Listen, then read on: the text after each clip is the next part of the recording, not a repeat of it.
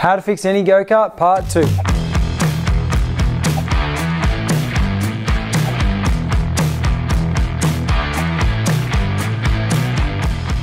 Welcome back to the Power Republic YouTube channel. To everybody that's been tuning in, we are repairing a older style go-kart here and this is how to repair any go-kart. So basically what I wanted to show you guys that anything's possible. If you've got an old kart lying around, get an engine out, get the arc welder, get whatever you've got, all the tools, all the equipment, and just make it happen. And that's basically what's happening right here. If you want to follow along, this project's going to be completed over on our friend's channel, Dan from Cafe Racer Garage. You can click that link in the description below. Go give him a subscribe and a thumbs up. I'm sure he'd really appreciate it. Okay, so without any further distractions, I'm going to get into it.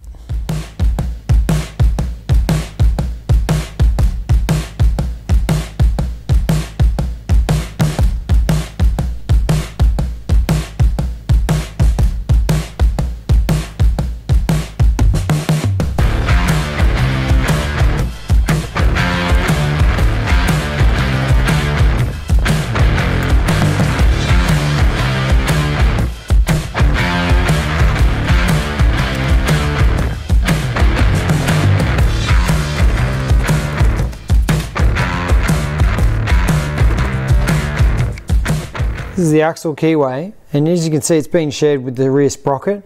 Now on a traditional go-kart you'd see that the sprocket is all the way over here on the left really close to your bearing cassette. But on this one they've moved it outboard because it's a uh, dirt bike engine and the sprocket's on the sort of opposite side to what it is on a KZ engine. Like on a normal go-kart engine we've got the sprocket over here on the inside. So we call that an inboard sprocket this is being a dirt bike engine, it has an outboard sprocket. So they've put this sprocket all the way ahead here. So what we're going to do is we're going to remove this axle. You can see here that we've got pretty thin wall section axle. So what we're going to do is we're going to beef this up with a little sleeve. Uh, we're going to slide that down inside the inside this axle, and then we're going to drill in a new three pin keyway for the for the sprocket carrier, and have a separate keyway for the wheel hub. You can see here that the keyway is slightly bent and I think that's because the wheel's stuck over here and then the engine's driving the sprocket and it's trying to twist it all up over here.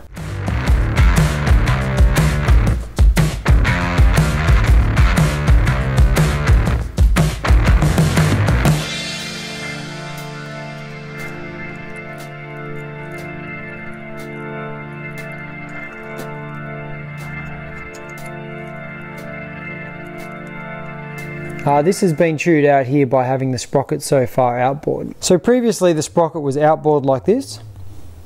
So my solution for this problem is we're going to spin it around 180 degrees and pick up this uh, original keyway here in the axle which is for a traditional sprocket carry on a tag kart and we could probably pick up the first hole but I'm going to put this in the milling machine and extend this keyway out a little bit and then just put three holes and a three hole pegged keyway. So in case you're wondering what a three peg keyway is, I was talking about, it's this little heavy duty guy here.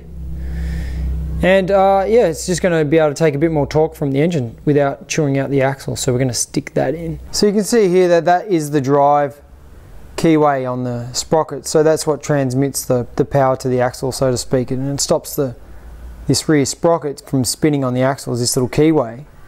And if we go over to the kart, you can see here I've marked with Texta or Nico Pen, depending on where you're from, uh, where we're going to extend the keyway here, make it the flat a little bit longer. Then we're going to drill a couple of new holes for the three pinned pegged key.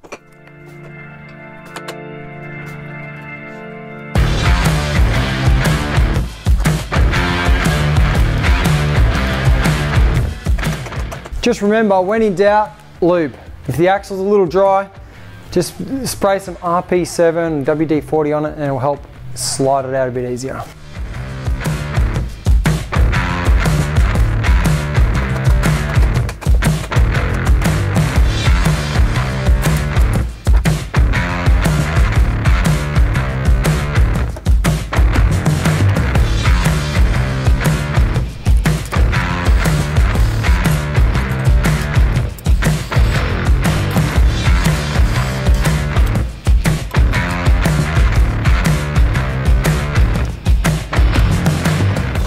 Okay, so as you can see, the Power Republic axle basher tool is working perfectly here.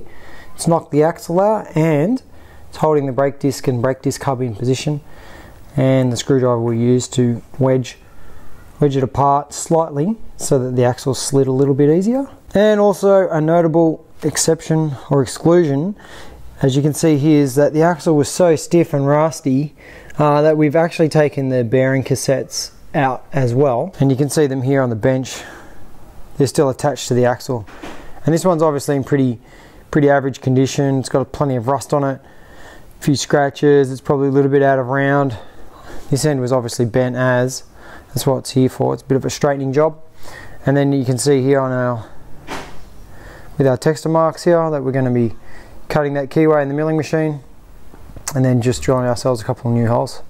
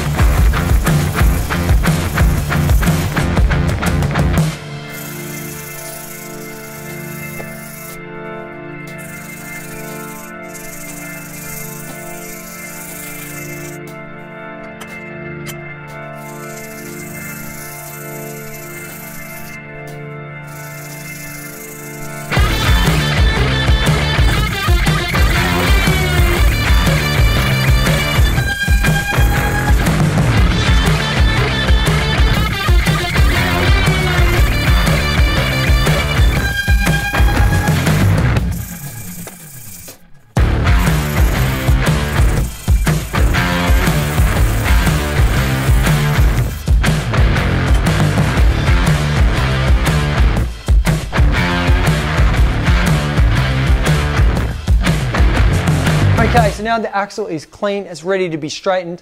I've also got to make up that boss to slide on the inside for a bit of extra rigidity and then machine the keyway.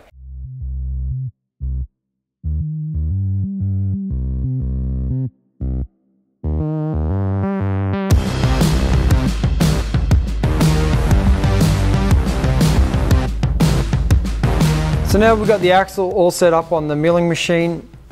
We're going to run it through our axle straightening jig and we've got a couple of dial indicators on there so we can check the run out. It's a couple of millimeters so we're going to tweak that back here with the screw press and just keep checking it out until it's perfect.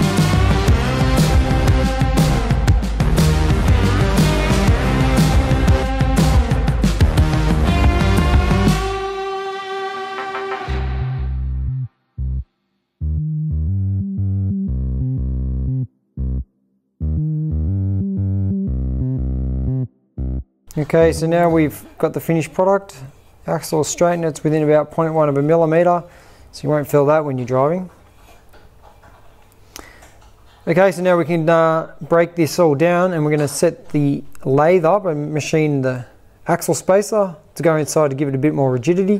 Then we'll be back over on the milling machine to cut the keyway. Okay, so now that we've gone from the mill over the lathe, we're just going to turn up that axle spacer now this is going to go inside the axle. Now it's going to add a little bit of rigidity, but that's not a major issue for us because this is a little home job and we're not really racing anybody. So if the axle's a little stiffer, it doesn't matter. It's probably just going to resist bending a bit easier. And also too, it'll give some uh, something for the keyway for it to bite into so it stops twisting out under, under the load of the engine.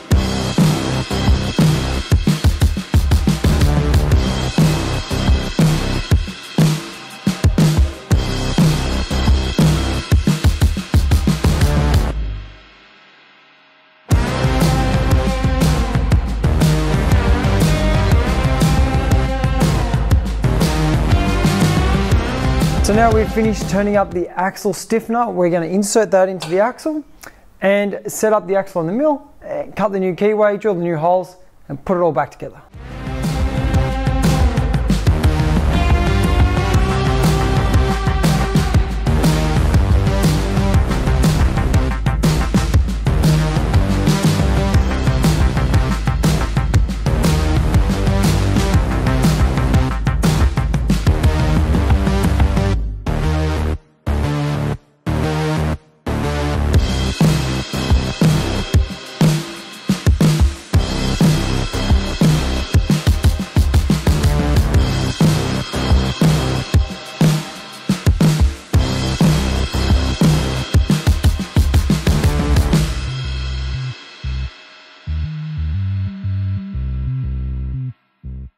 So as you can see, we've got our axle set up in the milling machine here, and we've just made the little flat for the keyway to sit on. We've also drilled the three holes. And also too, if you do want to chamfer a hole and you're at home, uh, and you don't have a countersinking tool, we're just using a bigger drill bit. So in this case, we had the seven millimeter holes here. So we grabbed a 10 millimeter drill bit and just turned the speed down and countersunk the holes just nicely there. Okay, so you can see that we've got our little pegged keyway and it should just be a, a light tap fit. Now this thing here with the extra bit of reinforcement on the inside of the axle, plus we're going to remember this is where the sprocket was sitting and now we're going to move it 180 degrees so it's more inboard and that's going to give us a little bit more rigidity as well because we'll be closer to the bearing cassette. Okay, so now that we've done all the machining, it's time to break it down off the mill, take it over the go-kart and do the final assembly.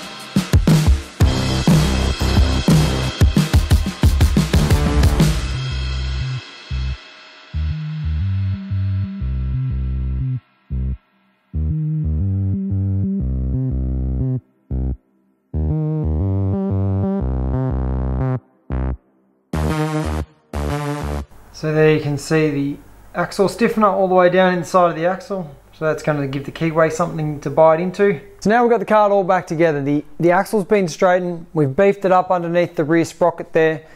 Also too, we've put in a three pegged keyway. So that should give it a little bit more rigidity. So hopefully we don't bend the axle again.